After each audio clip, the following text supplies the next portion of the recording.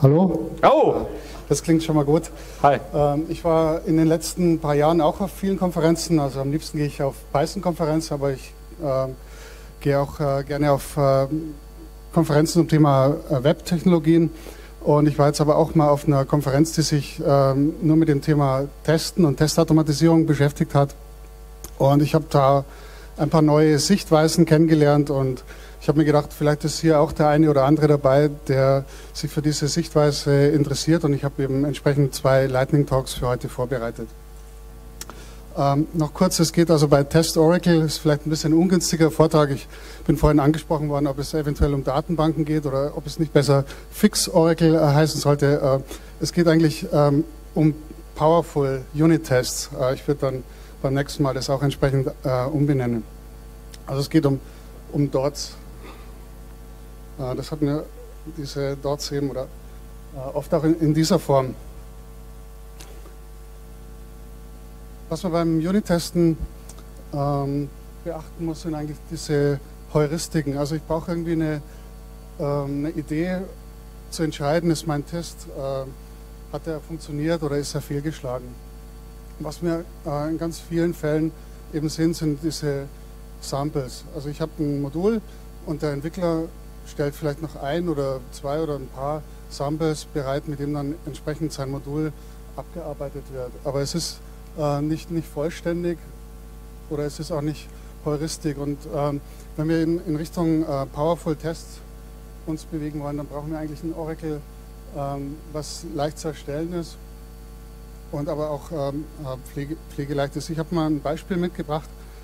Ähm, also für eine, für eine äh, trigonometrische Funktion könnte man so etwas benutzen, um einen Test zu schreiben. Und ich, ich lege dann eben einzelne Punkte fest und, und das Ergebnis. Und das sind eben einzelne Tests. Und wenn sich an der Funktion etwas ändert, in dem Beispiel wahrscheinlich sehr unwahrscheinlich, aber dann, dann müsste ich entsprechend diese Tests anpassen. Aber die ganzen Punkte, die jetzt hier dazwischen liegen, die habe ich alle nicht mit drin. Und das ist eben die Idee bei einem heuristischen Orakel, dass ich eben sage, ich habe hier eben auch die ganzen Punkte dazwischen erfasst. Zwar nicht, ähm, nicht ganz genau mit dem Ergebnis, aber äh, ich, ich würde es zumindest ähm, solche äh, Fehlerstellen eben hier identifizieren können, weil ich eben hier nicht diese, diese städtische ähm, Entwicklung habe. Was ich aber nicht finden würde mit diesen heuristischen Tests, sind eben, das sind keine Sinusfunktionen hier. Das würde ich dann eben nicht. Ähm, ja, ich glaube, ähm, bin so ziemlich zu Ende gekommen. Also wer äh, sich noch äh, über Testorakel, ja, da gibt es ein schönes Paper, was mir gut gefallen hat hier. Ähm, oder eben auf meiner Webseite kann man noch ein paar Informationen dazu finden. Oder ich habe auch, äh, ja, gibt es relativ wenig Diskussionen noch, aber vielleicht ändert sich das bald mal. Danke. Das sind die Ergebnisse mitunter auch heuristisch.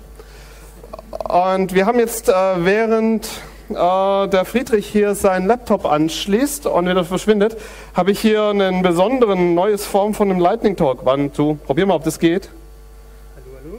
Andersrum schalten? Das ist irgendwo ein Trick. Aha.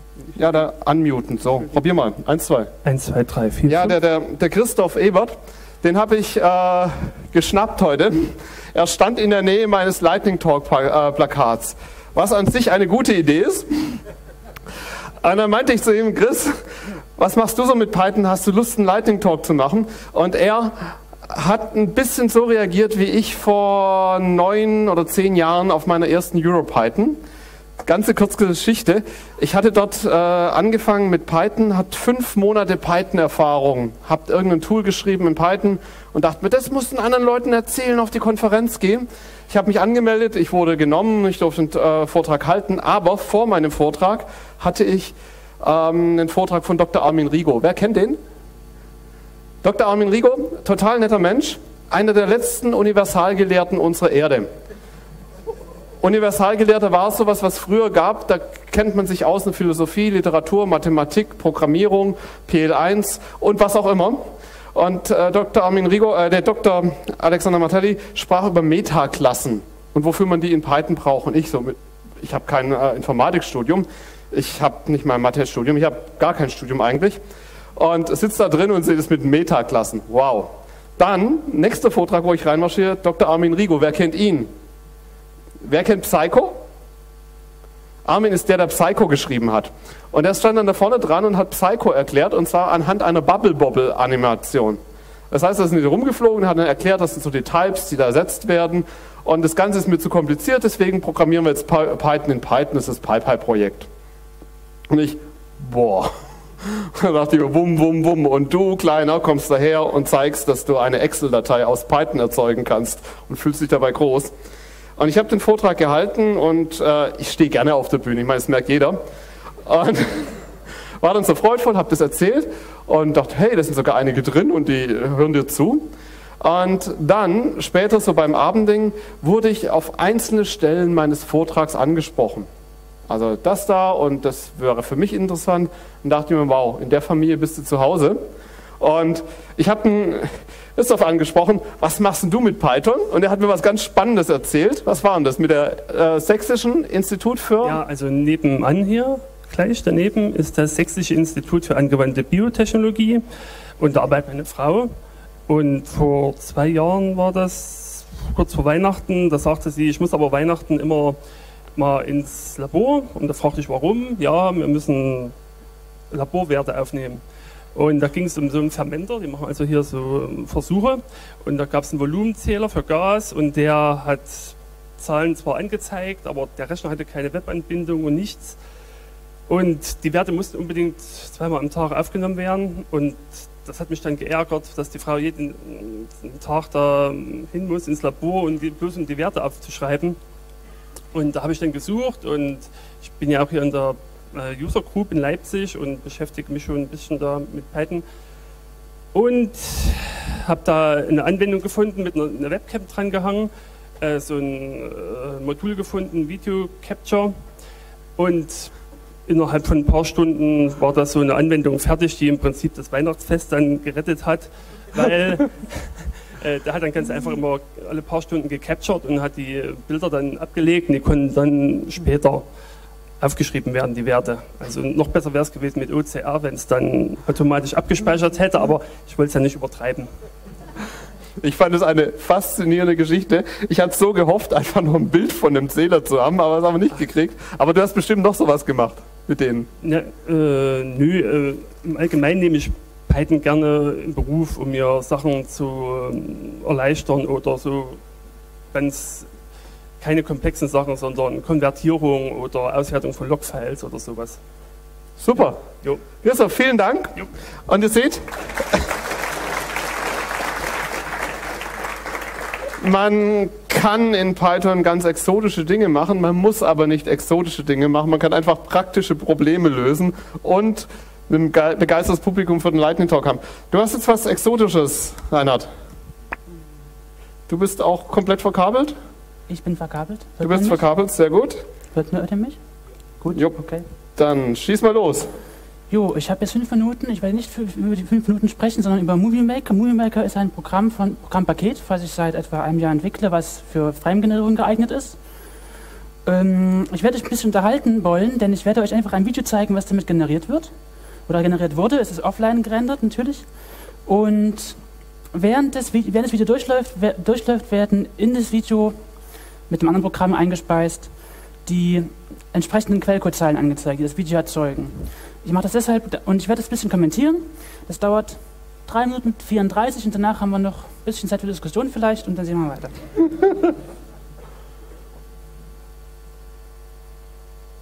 Müsste eigentlich. Ach, der, Ton kommt gleich noch. Das ist der Vorspann. Das ist jetzt bloß, damit ihr wisst, das ist die Definition von Frames. Das ist die Timescale, das heißt, es ist Section Time. Das heißt, man hat so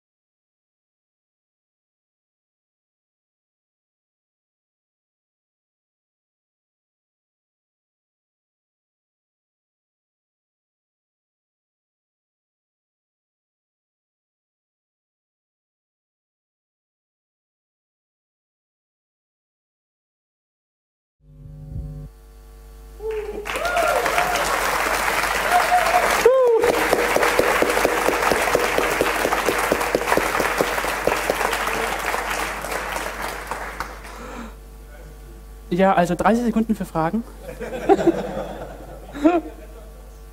Das hat damals eine Woche gerendert, aber es ist mit einer sehr schlechten Übertragung von NumPy Arrays in Bild. Ich wusste nicht, dass das Pil 116 vom Array konnte. Das, jetzt geht schneller. Es sind mit Movie Maker 1 gerendert, das gibt dann noch 2 und 3. 3 ist aktuell. 3, 0, 15, 0 B, Beta oder irgend sowas. Und die neue Version nutzt dann halt bessere Methoden dafür. Ja, ja, GitHub, Friedrich Homstedt. Wow. Danke. Nochmal einen Applaus.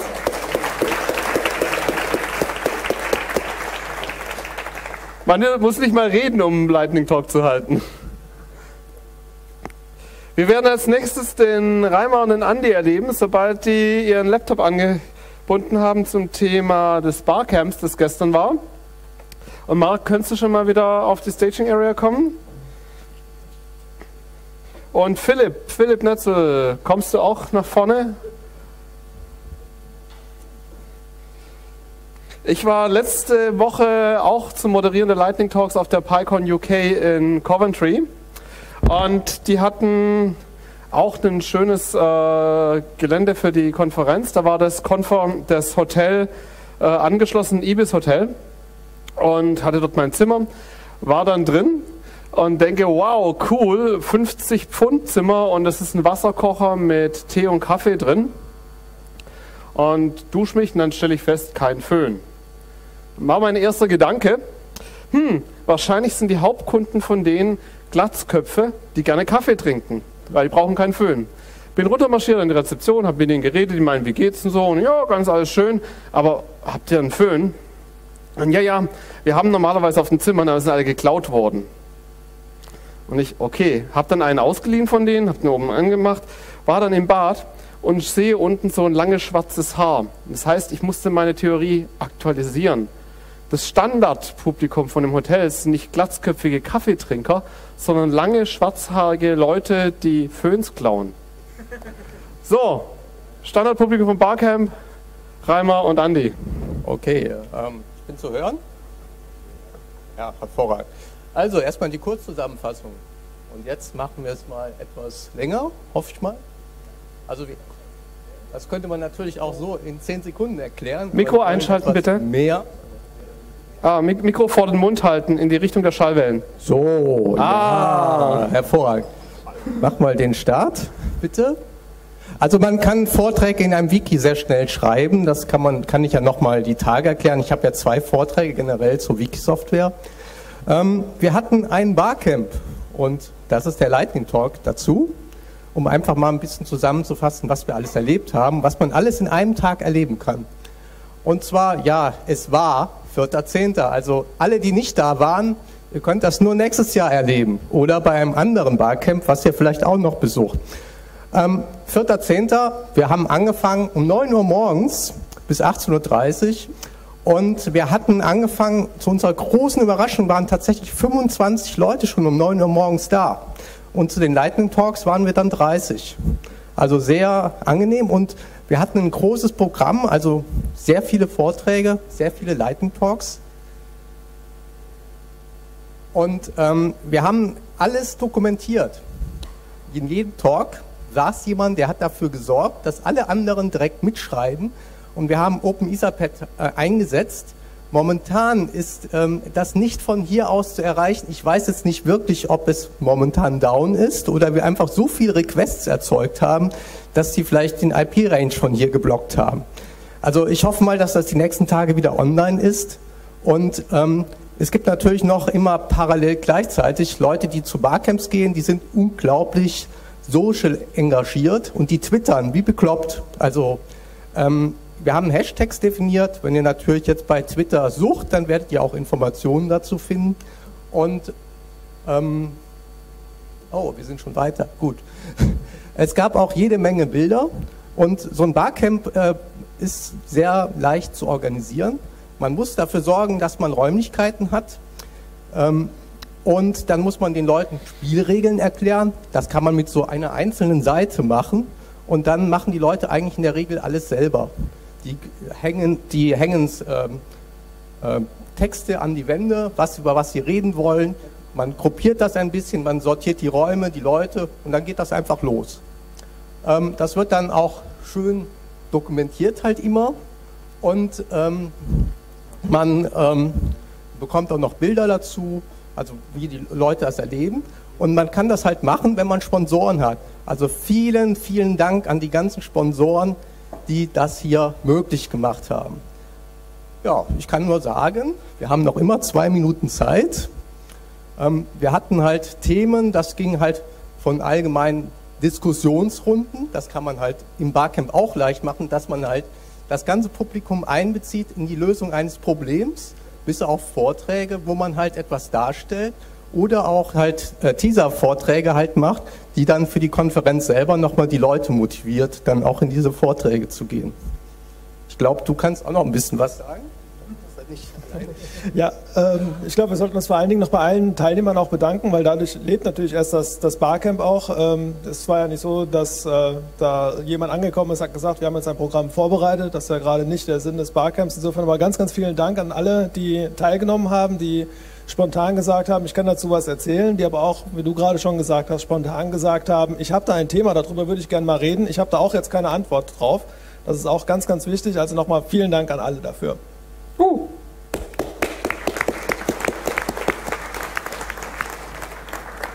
So, und dann vielen Dank Reimer und Andi für den Vortrag.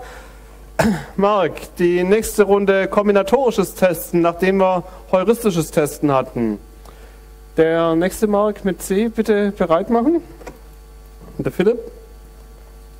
Und während Marc noch kämpft, ich habe noch eine lustige Geschichte, als ich zurückgeflogen bin aus äh, Birmingham über Zürich treffe ich wieder auf einen, den ich auf dem Hinflug schon getroffen habe. Den habe ich angesprochen, weil der sah aus wie ein Schauspieler aus Community College. Kennt jemand die Sitcom? In Amerika ist es so irgendwie der absolute Brüller schon.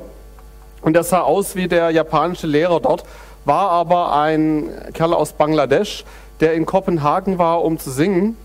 Und wir haben uns dann so unterhalten, weil man sitzt halt im Flugzeug und ist langweilig. Oh, es geht schon weiter. Kombinatorisches Testing. Du bist dran. Geschichte geht nachher weiter. Könnt ihr mich hören? Ja, prima.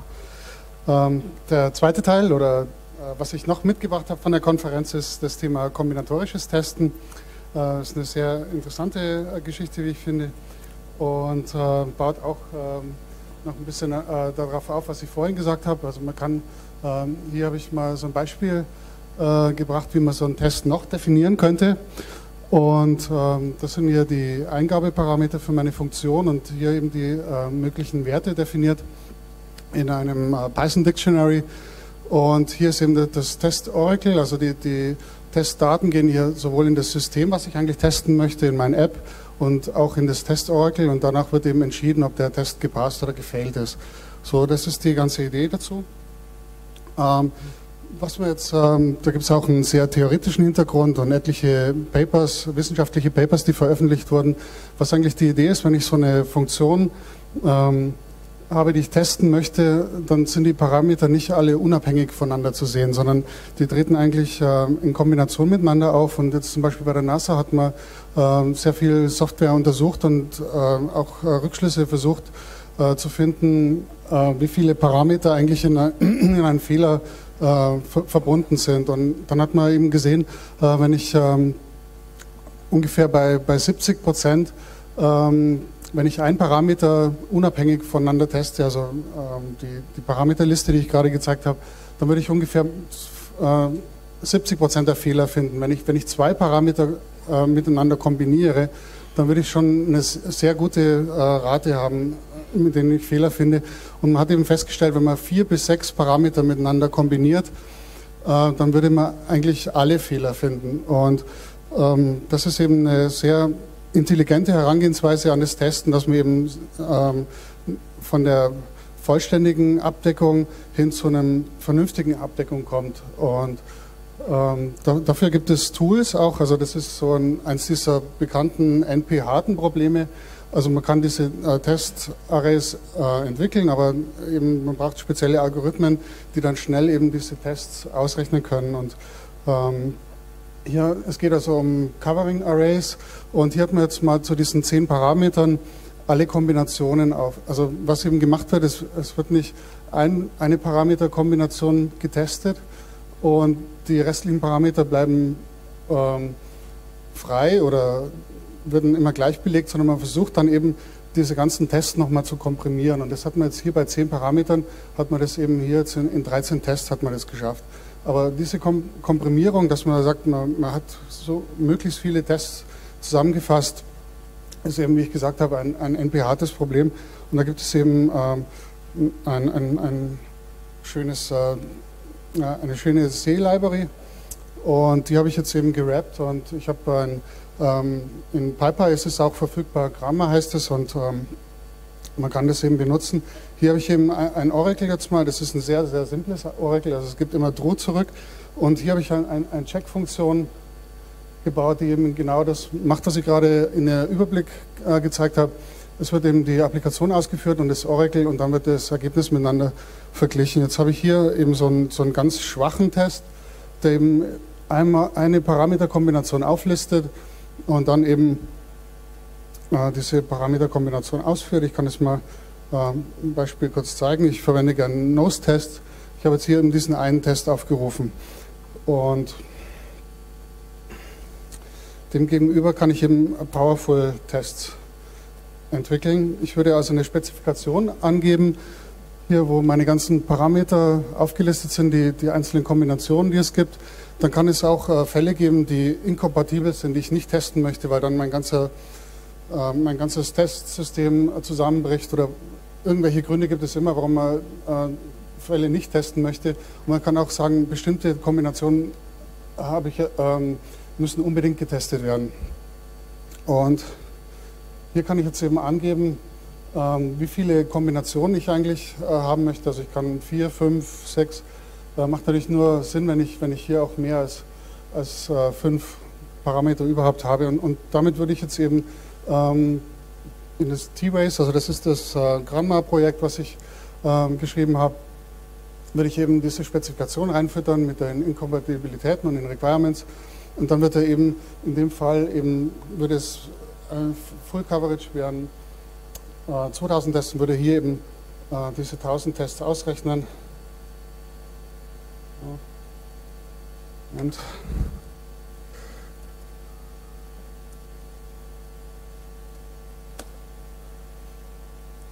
braucht also eine, eine, Sekunde ungefähr, um dieses Covering Array auszurechnen und dann sind die 1000 Tests.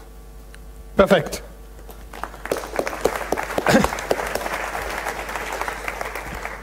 Wenn man es schafft, 1000 Tests in einer Sekunde zu simulieren, schafft man auch das Simulieren von 1000 Tests in 5 Minuten. Komm doch hier hin, Philipp. Noch einfacher.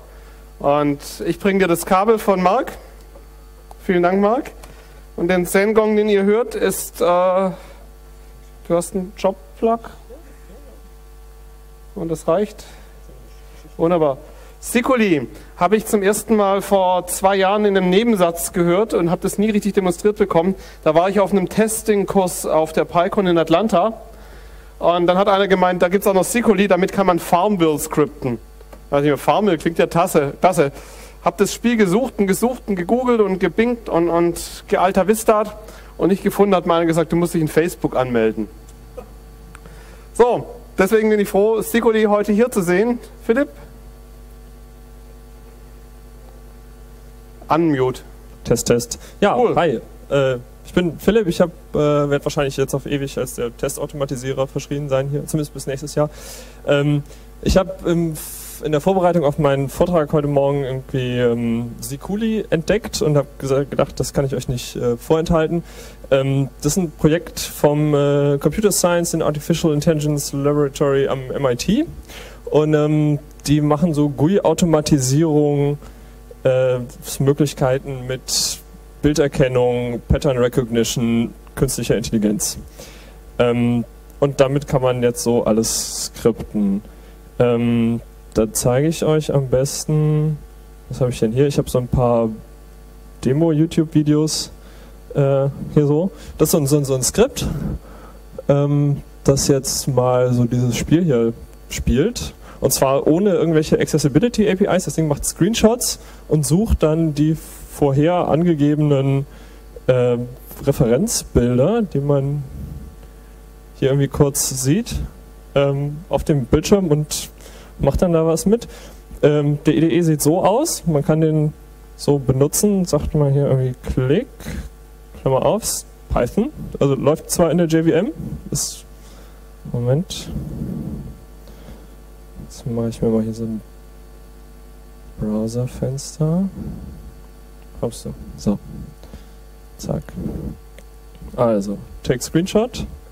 Und dann sage ich ihm mal beispielsweise, na hier ist gut, klicken wir mal hier, zack, Screenshot, Klammer zu, Run, zack. Und ähm, ja, weil ich gestern das Farmwheel-Beispiel äh, gesucht habe, habe ich mich eben mal hingesetzt und äh, dieses Spiel äh, gefunden. Das ist einfach so ein Bälle weg, wegklicken Spiel und ähm, mal so ein simples Skript geschrieben. Man kann ja einfach so die, die Bilder dann integrieren, die man mit dem Screenshot-Editor so machen kann. Ähm, es gibt so drei Bälle in dem Spiel und das äh, startet mir das, das Spiel zuverlässig. Ähm, man kann die Mindestwahrscheinlichkeit für die Erkennung hier angeben. Ähm, und äh, so spiele ich das ganze Spiel, denn solange halt da oben dieser Banner ist, äh, geht er durch alle Farben durch, sucht sich die Bälle, nimmt die Bälle, die am weitesten oben sind und ähm, davon einen zufälligen, hier so irgendwie die, einen der ersten sechs. ähm, Habe ich irgendwie in so einer halben Stunde eben schnell zusammengeklickt. Und äh, wenn ich das jetzt laufen lasse, es ist nicht besonders intelligent. Zack. Ähm, also man könnte dann wahrscheinlich irgendwie alle, Bilder, äh, alle Bälle erkennen und gucken, wo der nächste klügste äh, Schritt wäre, wo man so draufklicken kann. Es verliert auch ziemlich schnell. Aber es macht was.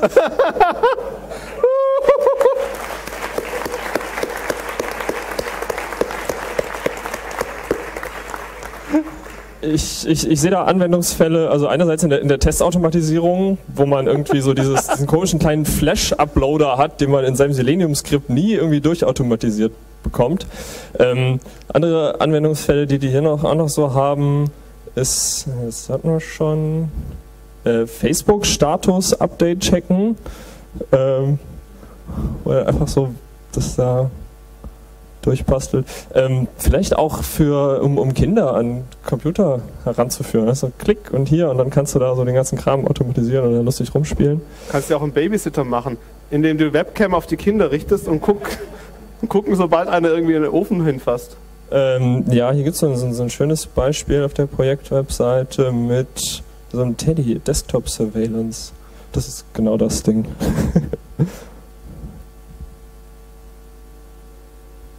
Weil immer, wenn er den Teddy erkennt, ich weiß nicht, was er dann macht. Äh, ich glaube, er gibt hier auf der, auf der Konsole links, geht dann irgendwie, ah, Moment, jetzt ist der Teddy weg. Genau, wenn der Teddy weg ist, macht er eine Dialogbox relativ zum Schluss.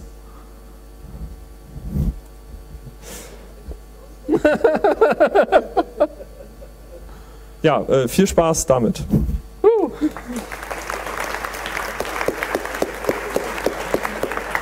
Ja, kann, kannst du vielleicht gleich da anschließen? Wenn einer fragt, Philipp, woher findest du die Zeit zum Programmieren? Dann sagt er einfach, naja, mein Laptop spielt für mich spielt Jewel, da habe ich immer die Zeit. So, unser letzter Vortrag für heute wird Marc-André Lemberg, jetzt auf die andere Seite wegen Anschluss sein, zum Thema Python auf Erfolgskurs. Und damit ihr morgen auf Erfolgskurs gehen könnt mit eurem persönlichen Lightning Talk, Unten neben der Rezeption, wenn man vorsteht, auf der linken Seite ist ein Flipchart, unten sind dicke Stifte, links ein äh, Titel, rechts den Namen und Marc.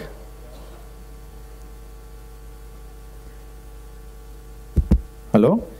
Super. Also ich äh, habe mal hier einen, hab einen Vortrag morgen früh um 9.30 Uhr und damit überhaupt irgendjemand dahin kommt und sich das anhört, dachte ich mir, ich mache mal einen Teaser-Talk jetzt als Lightning-Talk. Es geht also darum, äh, Python auf Erfolgskurs. Wir haben ein Projekt laufen und darüber wollte ich ein bisschen was erzählen. Ja, wieso Erfolgskurs? Erstmal guckt man sich natürlich an, was haben wir denn alles so geschafft in der Vergangenheit. Ich habe mal so einen kleinen Chart gemacht mit den Releases von Python. Es fängt also 1990 ungefähr an mit dem ersten Release, das öffentlich war und es geht dann halt kontinuierlich weiter. Und wie man sieht, ist das eine sehr, sehr schöne, eine sehr schöne und gleichmäßige Entwicklung. Es gibt also keine Bumps da drin, bis auf jetzt ein paar Sprünge jetzt wegen Release-Numbers. Äh, aber es geht wunderbar weiter. Wo stehen wir jetzt? Wenn man sich den Tiobe Programming Community Index mal anguckt, dann sind wir da unten, das ist diese dunkle Linie. Gut, ist halt äh, nicht so populär wie jetzt manche andere Sprachen, wie man sieht, aber was man sehen kann, ist, dass es eine sehr schöne gleichmäßige Entwicklung ist, die immer nach oben geht. Während also viele andere Sprachen also dann eher einen Negativtrend haben. Wenn man sich auf SourceForge die Sachen mal anguckt, gut, SourceForge ist mittlerweile jetzt nicht mehr so populär, wie es halt früher mal war, aber wenn man sich die Anzahl Projekte anguckt, die Python benutzen, ist man mit 13.800 doch äh, relativ weit vorgerückt. Äh, ist also, es gibt sehr viele Projekte auf, auf SourceForge, die Python nutzen. Wenn man sich PyPy anguckt, unseren Package-Index, dann stellt man fest, dass man mittlerweile schon bei fast 17.000 Paketen dort angelangt ist, was einfach enorm ist. Und jetzt habe ich eine Slide weggelassen. Ich wollte noch die Amazon Books zeigen. Die kann ich aber kurz mündlich machen. Wenn man bei Amazon guckt nach, nach Büchern über Python, mit, die mit Programmierung zu tun haben, also nicht mit den Schlangen, dann kommt man auf ungefähr äh, 1000 Einträge dort, die man findet, was ich äh, auch enorm finde. Das Problem an der ganzen Sache ist, man hat jetzt ganz viel Zahlen, es sieht alles ganz toll aus, wir sind erfolgreich, prima, aber man muss es ja auch irgendwie zeigen können. Und da sind wir jetzt auf die Idee gekommen, dass wir jetzt mal eine Broschüre entwickeln wollen, die man tatsächlich in die Hand nehmen kann, die man halt Kunden geben kann, die man auch zum Beispiel Lehrern geben kann oder Leuten, die halt mit Programmieren so nicht viel zu tun haben. Und äh, das hier ist das Cover von dieser Broschüre. Wir haben dazu eine Webseite, die kriegt man unter brochure.getpython.info. Und dort versuchen wir jetzt äh, Success Stories und interessante Beispiele äh, von Python-Nutzung mal öffentlich zu machen und auch so zu präsentieren, dass man das in die Hand nehmen kann und dann auch dann wirklich dann bei den Kunden entsprechend äh, dann anbringen kann. So, ich habe nicht so viel Zeit. Es sind jetzt gerade schon drei Minuten um, also noch zwei Minuten habe ich, um mal kurz da durchzuseppen. Ich werde also das hier jetzt nicht erzählen, das kommt dann alles morgen um 9.30 Uhr. Das ist also jetzt im Wissenschaftsbereich, da haben wir die NASA. Im Softwarebereich haben wir die ganzen Version Control Systeme, die also von denen sehr viele in Python geschrieben sind. SourceForge ist in Python neu geschrieben worden. Äh, in der Medizin haben wir die Omega, die halt Healthcare-Sachen machen. Unterhaltung ist recht groß. Walt Disney Animations zum Beispiel benutzt Python sehr viel. ILM, Industrial Light and Magic, benutzt Python. Äh, es gibt ein Tool, das Blender heißt, mit dem also viel gearbeitet wird, äh, um diese Sachen zu machen, also zum Beispiel bei ILM. Äh, es wird im Spielebereich benutzt. CCP Games ist ganz bekannt. Mit EVE Online ist äh, eine große Online-Community. Demonware ist äh, ein, ein Anbieter von, von solchen Gaming, äh, ja, wie soll man sagen, also Plattformen, wo also andere Leute dann ihre Spiele dann mit betreiben können. Wobei die Zahlen sehr imposant sind, die die da haben. Gibt es ein Beispiel Bigdoor, das ist eine Gamification äh, Anwendung. Da können also dann Firmen Spiele auf ihre Webseiten draufbauen die benutzen Python als Backend. Im Internet hat man natürlich entsprechend auch viele Sachen. Diskus ist ein sehr bekannter Vertreter, also Diskussionen kann man damit sehr leicht überall anbringen bei sich auf den Webseiten. Bitly ist ein typischer URL-Verkürzer. Dropbox äh, kann man mit Dateien mitverarbeiten und verwalten, weiterreichen. Äh, Firefox Sync ist in Python geschrieben, ist komplett neu geschrieben worden in Python. Spotify benutzt Python, also kann man Musik mithören im Internet und halt äh, verteilen. Energy Savvy ist äh, so ein Anbieter, der dann halt einem berät dabei, wie man halt äh, die, die Energieverwaltung in seinem Haus verbessern kann. Und so geht es immer weiter. Da haben wir die Finanzen, da haben wir Fronterina, da gehen also Milliardenbeträge durch. Die benutzen Python als Schnittstellensprache. Dann haben wir Anbieter, die das äh, für ihr Backoffice verwenden. Im Industriebereich gibt es einiges. Contact Innovation ist eine Firma, die das halt für Datenbanken benutzt. ArcGIS Online benutzt es als Schnittstellensprache. Bei den Behörden in Ghana zum Beispiel wird die Umsatzsteuer damit eingetrieben. Äh, Schooltool ist eine Anwendung für. Ich bin schon drüber die Zeit, ja, Entschuldigung. Wow. naja, es geht halt noch so weiter, ne? Also, ich habe mich wahnsinnig gefreut, als Marc André sich bereit erklärt hat, über Pythons Erfolgskurs in einem Lightning Talk zu reden, aber das war das einzige Mal, wo ich sicher war, das passt nicht in fünf Minuten. Ich sage nochmal großes Danke an alle, die zugehört haben und an alle Lightning Talk Speaker von heute. Und für alle, die da mitgemacht haben, einen großen Applaus.